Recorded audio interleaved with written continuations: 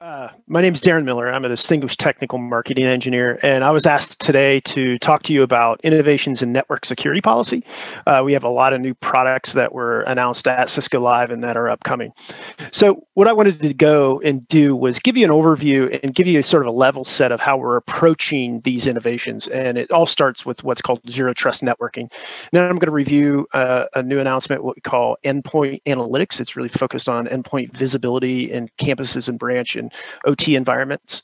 And then we're going to talk about group-based policy analytics. So basically, once you have identified devices when they're on the network, what do you do with it? How do you create, you know, um, an assessment of those endpoints and what their network profile is? And then we're going to talk about scaling out network security policy. There's been lots of islands of uh, security policy that have developed over the years, and we're starting to bring those islands together. And then finally, a, a wrap up. So let's get started.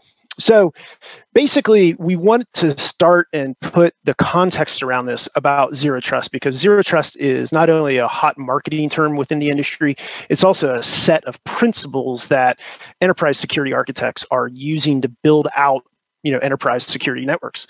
And the basic premises started a long time ago where but it's founded on the notion that we're eliminating network trust. What i mean by that is we're eliminating static objects. So if we think of an ip to a network object as it exists in a firewall manager that's a static structure. If we think of a user and a password that's a static structure. So you've seen over time that we're starting to eliminate those those static structures.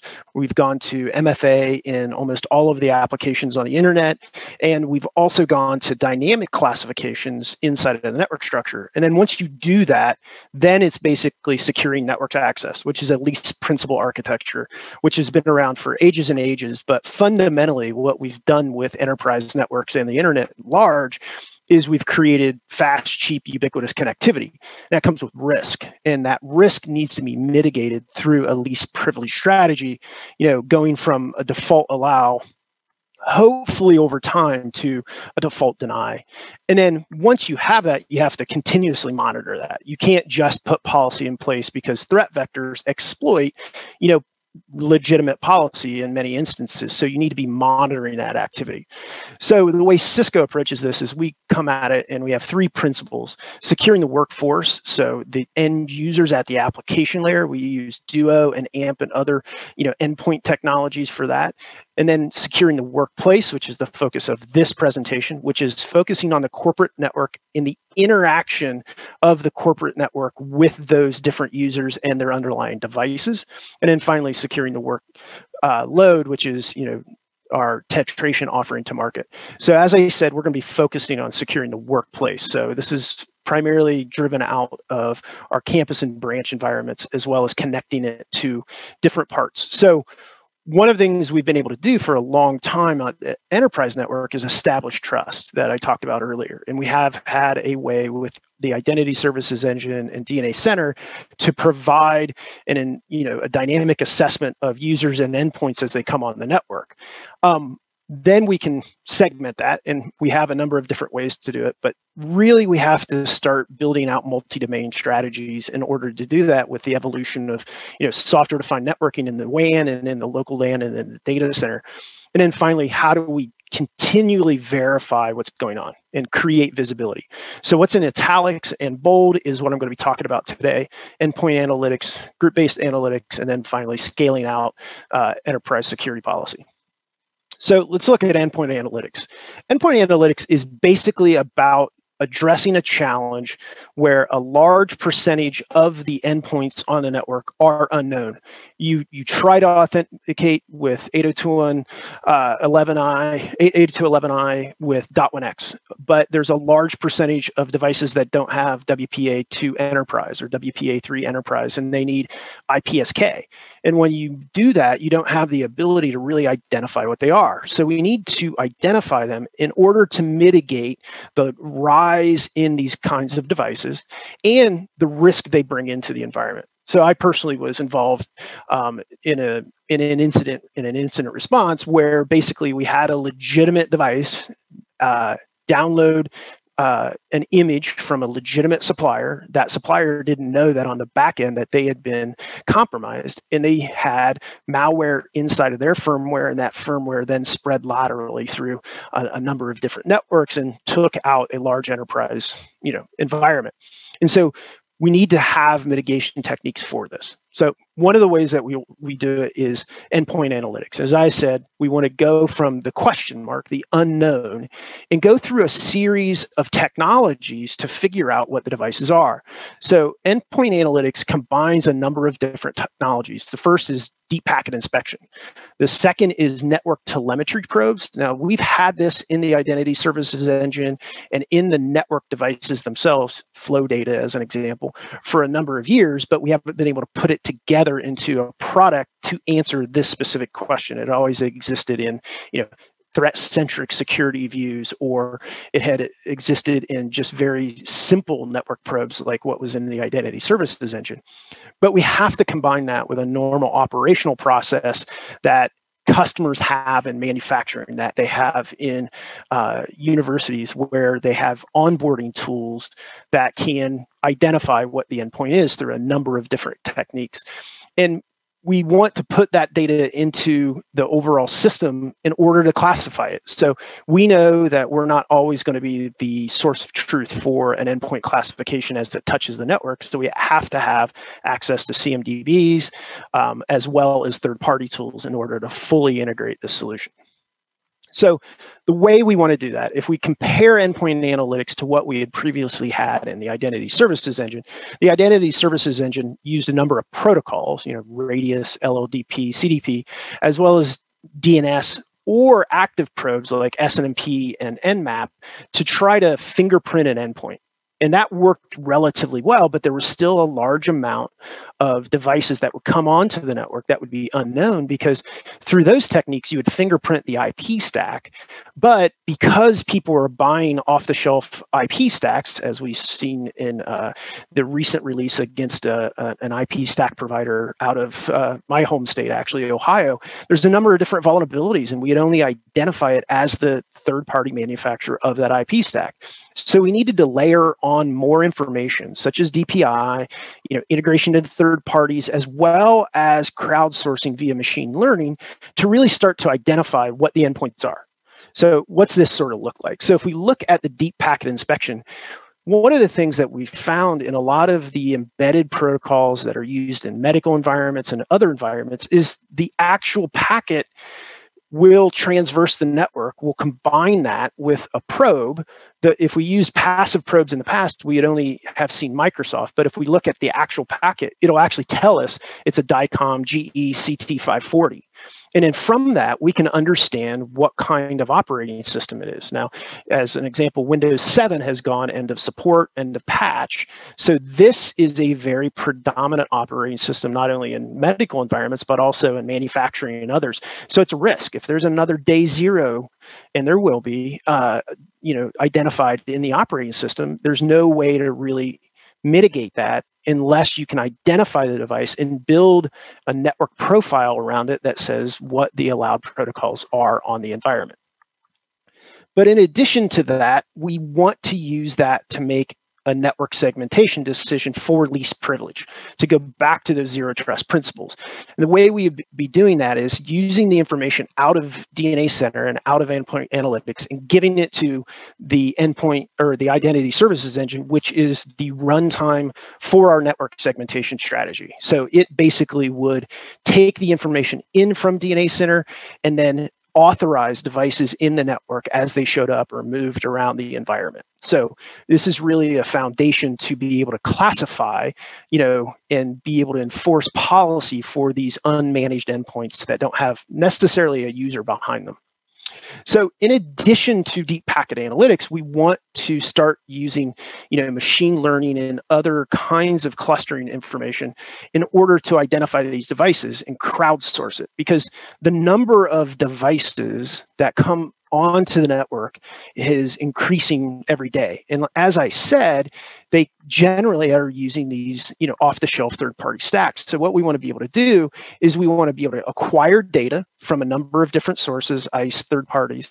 We want to send that data from the on-prem data lake into the cloud. And then we want to run machine learning against it, against it.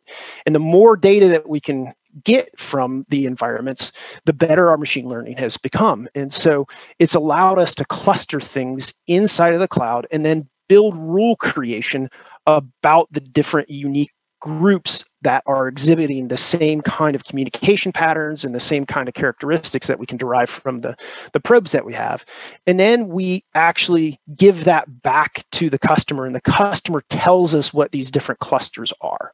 So in this example, it's you know Bosch coffee machines and and you know Apple watches. Now, what's sort of interesting about that is this is a real use case where we've got coffee machines connected to the internet. It used to be, you know, that it was a university lab environment that people would, you know, want to have telemetry coming out of these coffee machines um, so that they could figure out if the next cup of coffee was ready or if a fresh pot was ready.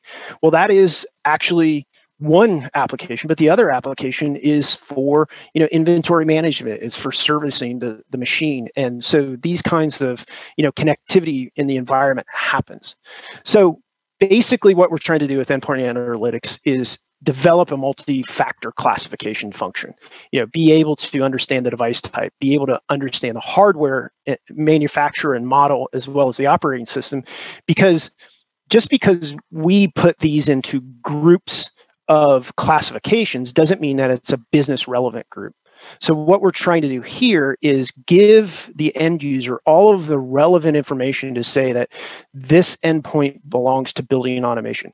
This endpoint belongs to security systems. This endpoint belongs to a medical clinical engineering environment.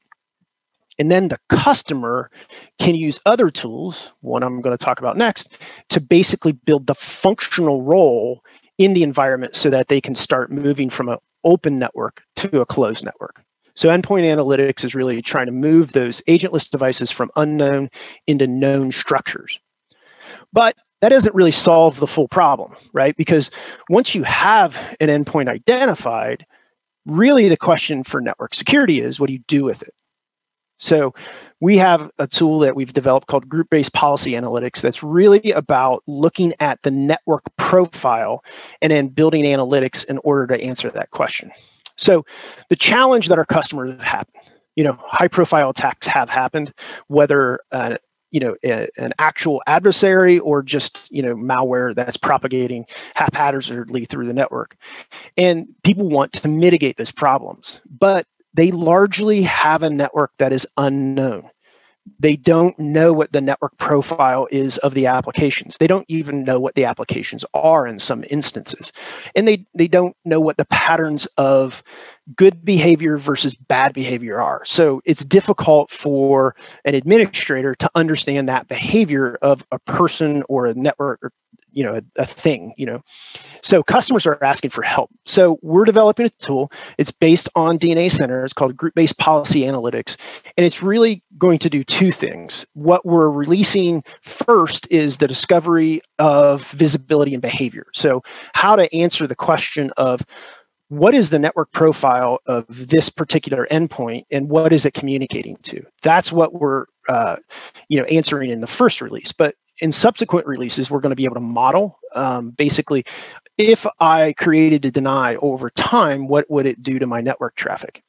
And then author or push the actual policies down into the network security controllers. Short term, that's going to be a manual process, uh, steps two and three, but it's something that we are going to be automating uh, in further releases of this group based policy analytics application. So, what does it really look like? So, DNA Center is an aggregator of data, not just, you know, endpoint data, which comes from ISE or the gray in the upper left represents third parties, but also it comes from the endpoint analytics application that's native to DNAC or StealthWatch. StealthWatch is very prevalent uh, flow telemetry source, and they have classifications of source groups, um, as well as finally, you know, general net flow if you don't have a StealthWatch or if you don't have, you know, some other collector. And what we're trying to do is we're trying to take information from a number of different areas that don't go into the classification of the endpoint per se. They go into the classification of the functional role in the enterprise environment because you might be in a medical environment and the functional role of the CT scanner is imaging or the functional role might be um, medical or clinical engineering as opposed to what the specific device is because there are you know thousands or tens of thousands of actual device types but they might summarize into 10 or 15 different functional roles within the environment. So once we have that then we want to visualize what can be seen in the environment and maybe what you know can't be seen in the environment. So this is just an example of how we can visualize. It's called a Sankey chart. Um, it's a very you know popular visualization tool at the moment. And basically, we can see that energy control is speaking to HVAC and lighting and water control. So that sounds like a, a viable, you know, set of you know groupings that it should be talking to in a functional environment. But you also see that it has this unknown communication. So that is an example where not only do we want to move endpoints from known or unknown to known classifications but we want to move network traffic or network profiles from a known or an unknown classification into a known and that's really what group-based policy analytics is all about is moving that classification from an unknown into a known Darren, may I uh, stop and yeah. stop you and ask a question? Absolutely. Does this require? I mean, I understand uh, you know running DNA Center and maybe just mm-hmm. using the assurance engine, having ISE for your SGTs and all that stuff, right? Mm-hmm. Does this require running a full SDA fabric, or can someone just use the DNA Center appliance and, and the assurance engine integrated with ISE? Uh, great question. Uh, they do not have to have a full blown SDA okay. environment to use this tool. That was one of the big discussions internally. Was you know how how do we encourage people to go to an SDA environment to, to get the ease of use and ease of deployment for se- segmentation. And this was one of the ways we're trying to encourage people to move to that, you know, zero trust model that you can implement with SDA. So we do have a way to deploy the DNA Center appliance and assurance out of band on an existing environment and then build out these tools. Did that answer the question fully? Yeah, I mean it was a pretty straightforward question, I think. But yeah, no, yeah. that's great because I do have. I do have folks that I work with quite a bit that are really interested in DNA Center, uh, including the assurance piece, but are, are, are, somewhat reluctant to go to the full right. fabric just yet. We have the conversation, of course, but we're not quite there with some with some folks. Um, but right. the analytics piece is so compelling that to be able to do yeah. that with uh, with an environment that's kind of like a you know with again just the assurance piece, that's great. That'll, that'll work. Yeah. Yeah, as you can tell, hopefully by my smile, that I, I fully agree with you. I think uh-huh. you know the more data that you can you can analyze, the more power you put into the end user's hands, the better they can make an informed decision. Because you know one of the biggest challenges with you, you know the you know, moving to network segmentation is that we we built these networks on purpose, very very open and fast. Right now, we, we got we have to move to a more controlled environment and the only way we're going to be able to do that um, from my experience is by giving them information like this. So one of the things that we constantly hear is wait th- this is built on flow data. How does it compare to stealthwatch so one of the things i wanted to do in this presentation was to take a moment to say it's the same data that both teams look at, but they look at the data differently. So StealthWatch is a threat centric tool, it's a threat hunting tool. So it is really built to analyze the data get, to go act after active threats. Right. So it is really looking for all of the low level compliance kinds of issues. Group based policy analytics is using very much the same data, but the difference is it's trying to do modeling and it's trying to do real time visibility. So we're using the data differently in the two different applications. So there's a number of different patterns like this that you can find in a number of different, you know, uh, uh, you know, white papers on, on data, you know, uh, analytics and you know machine learning and all this different thing and the key is is that it's the same set of data and we're we are building synergies between the two products to exchange that data but we're using it for slightly different use cases so at the end of the day, as I talked about, we want to be able to use this to not only model the positive aspects of you know approved communication, but we also want to use this as a way to catch, you know, communication in an environment that's happening that we might not approve of. So, you know, the gray represents, you know, employees talking to email servers and and different unknown classifications on the internet, which is fine from a network security perspective. But then you can also use it to see that guest is talking to a database server yes, it's a little bit of a contrived example, but it's an example of what we have done. But we've also had scenarios where we use it to analyze and then figure out legitimate traffic. So, an example I give and talk about is that we had a you know this analysis being run against an MRI machine, and we saw the MRI machine making a call out to iTunes, and it immediately made us ask the question: Wait, should an MRI machine be calling to iTunes? So we were able to look at the traffic and figure it out, and figure out when it was occurring, and it matched customer MRIs. So basically, the MRI machine had a very legitimate reason for reaching out to iTunes. The headphones that the, the patient wears during the MRI is actually sourcing the music from iTunes in that scenario. So it's a legitimate use case. So we actually used the tool to, you know, understand the the uh, traffic flow and then figure out if it was allowed or unallowed traffic in the environment. In this scenario, it turned out to be allowed. So we want to be able to create those specific ports and protocol matches. Aaron, is so, that where StealthWatch comes into play, where you're deauthing, reauthing, or killing a port or something like that because it's anomalous behavior? If you would want to take that positive action back in, uh, you know, kill the the environment because it's uh, anomalous behavior. Like if you wrote the rule guest to database yes you know stealthwatch absolutely could be that tool that reaches back into ISE and kills the port and make okay. sure that it's blacklisted.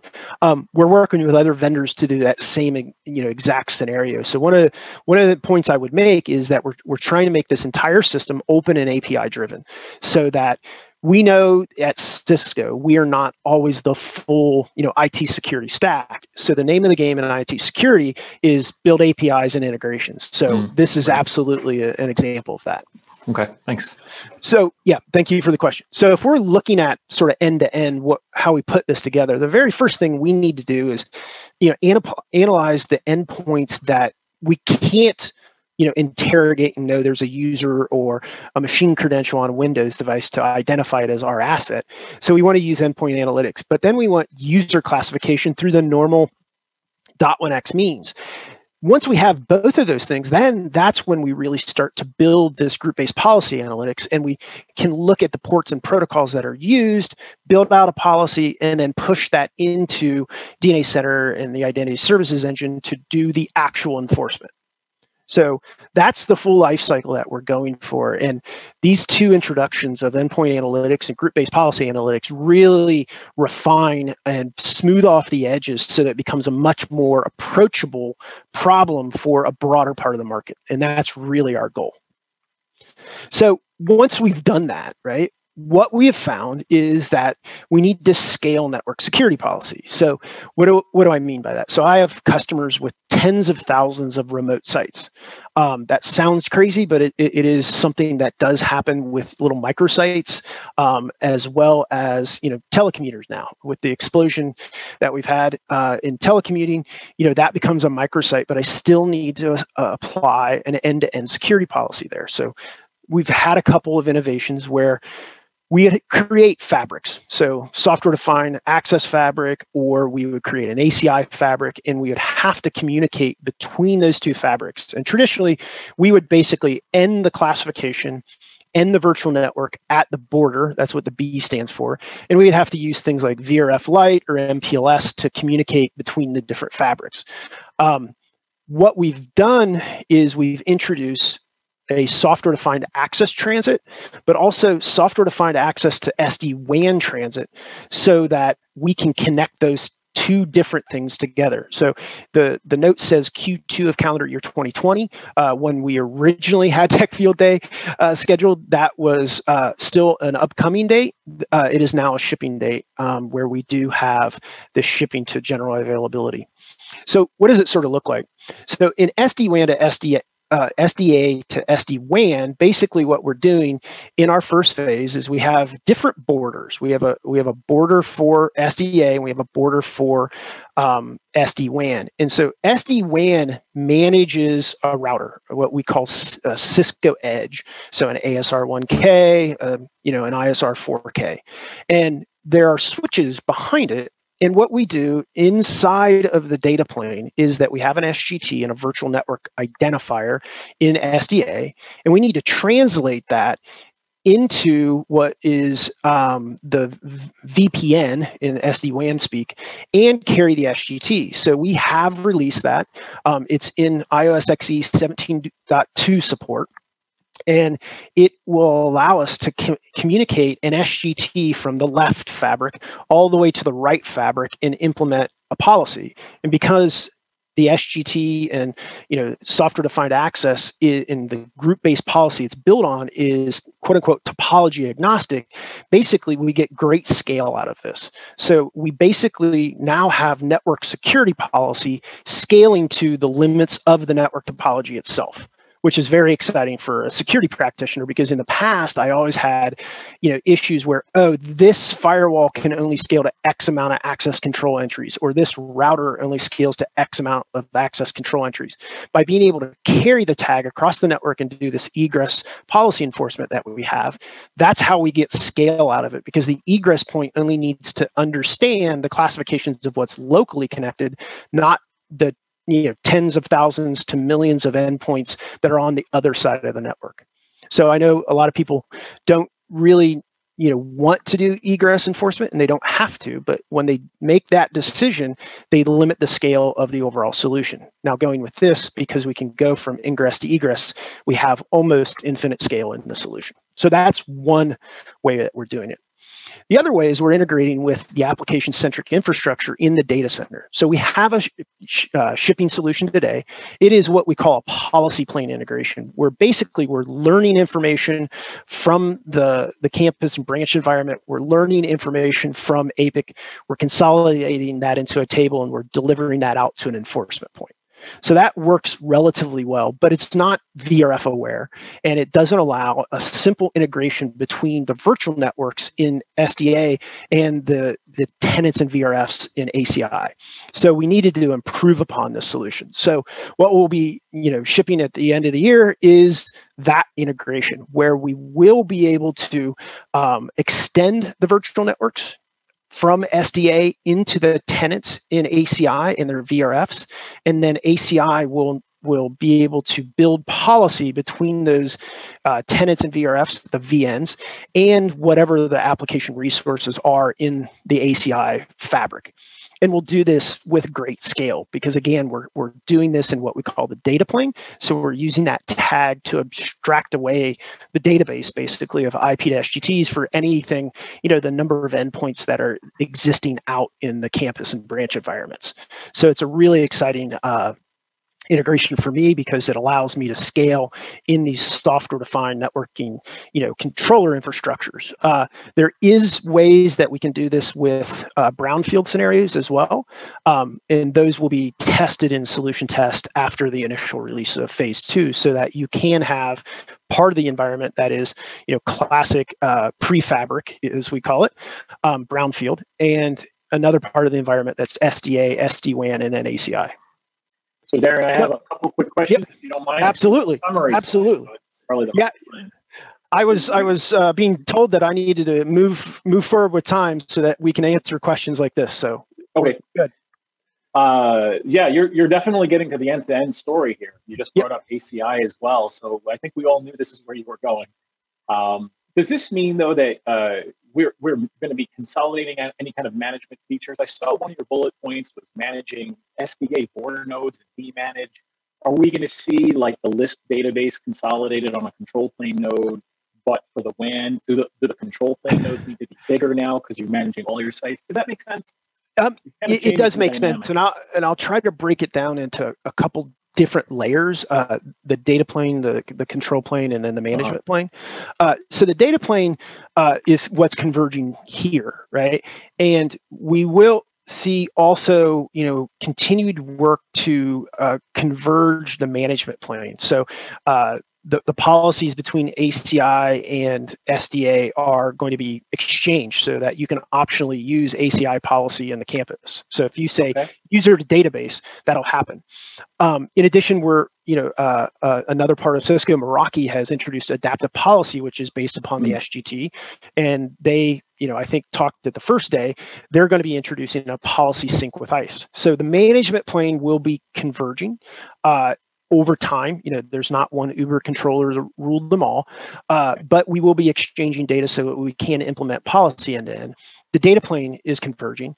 The the control plane, because of some unique characteristics of the control planes, you know, there's OMP in SD-WAN, there's Lisp in SDA, you know, there's COOP in, in ACI. Those right now won't be converging. But if we do this right, that becomes more of an operational day two kind of issue, not a day one or day zero or day one kind of issue. Because mm-hmm. if we do our job right, and you know that's that's the question, is that should um, you know be transparent to the policy or the intent you want to express and how it gets instantiated and so we're we're trying to abstract that complexity away from you um, so that we have the management plane and the day two operations answering the questions in an end-to-end fashion um, but I would say that's going to be an evolution over time, as you probably have seen over the last, you know, couple years, as opposed to mm-hmm. one product that does it all. In summary, so uh, we're really focused on leading zero trust in enterprise networks. You know, we have a number of continuing innovations that hopefully I'll talk to you next year about. Um, with this kind of platform. So we're really wanting to lead the the you know securing the workplace and you know we're building it with endpoint analytics, we're building it with group-based policy, we're building it with more scalable enforcement and you know we're really looking to improve in the future. And you know i'm lucky enough to be working on those future endeavors. So um, getting these products released to market is extremely gratifying and we've had tremendous feedback from our customers and we really look forward to continue to do the innovation in the future. You were talking about uh, scaling the solution. Um, there's potentially a pile of state here mm-hmm. um, to uh, you know enforce or to even create that policy. Where is all that stored? Um, you're also talking about having to translate between the different control planes right like right. what kind of uh, speed is going to be included with uh, with that scale? Like speed okay. of translating the policies and storing the policies um, yeah so what are the downsides to this? Okay, so so great question. So the the way the the policies get defined, um, because it, it, can be a very large environment, um, will be built at a, a, at a distributed set of tools right now. So you would build policy state in ACI, you would build policy state in uh, SDA, and you would exchange that state, and then you manage the growth in that state by th- making the policies optional between the two domains. So let me give you an example of what I mean. So there are flows of microsegmentation within the, the data center that are not relevant to the campus. So uh, database to database, database to backup, database to administrative administration uh, jump host. Those policies are not relevant to the campus because there are typically databases exposed at that layer. So that's one way to manage the policy state. At the second level, there is what I call the group membership state. So that is endpoint A belongs to group B. And that again is distributed between all of the different controllers. So SD-WAN, uh, ACI, and, and you know SDA. And we don't necessarily exchange all of that state. So I don't want to have to move 10 million IP to groups that might exist in software defined access into SD-WAN and then into ACI. So that's where the data plane integration comes in, where we can basically put in an index in the data plane on the frame or the packet and send it to the next domain. And now it's significant to the next domain without having to have the group membership state exchanged everywhere. This is what firewalls do, but they have very generous uh, compute and memory. And if they don't have generous compute and memory, you buy more compute and memory and you build a bigger appliance, right? Network devices don't have that luxury. So that's why we use the SGT to exchange the index so that we have relevance for the source so that the next controller or next domain can take an action on it. Now, one of the things I'll say is that you can't totally avoid moving some of that state around because the mid the, you know the the controller in the middle might be a midpoint. So there are pieces of domain a and pieces of domain b that you want the group membership from but it's not the entire set of characteristics. So we're not going to be moving around all of the state for 10 million endpoints on an enterprise network which is the is actually a realistic number. That's a real number that we're dealing with.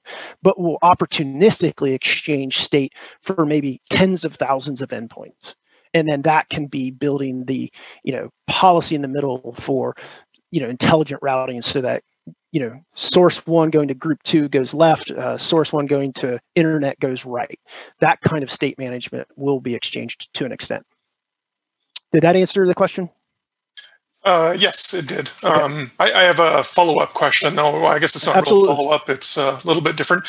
Does uh, this solution um, negate the need for um, an 802.1x supplicant and, and port security and uh, in the old days where they did NAC or uh, um, because of the deep packet inspection and the profiling? Um, um, great, great question. So endpoint analytics uh, makes that better. What I mean by that is there are a number of customers that um, tried 802.1x on the wired.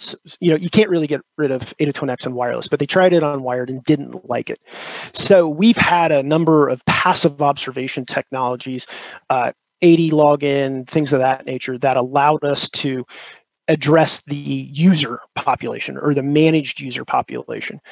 But we never had anything that was passive that could really use the DPI and the machine learning to answer the you know non-user population. So it won't quote unquote require .1x, but what it does is it answers a, a, large question that we hadn't been able to answer to date. And then we have a number of techniques to make .1x relatively painless through what we call an open mode, where once we get the endpoint data, then we layer in, you know, user identity either through a passive AD agent or through an active auth on uh, the the endpoint that does little intrusion into the environment until you have a policy you want to invoke. So it's more of a passive authentication, even though we're actively probing for .1x and uh, we we want that data if it's available. It's not required in the solution.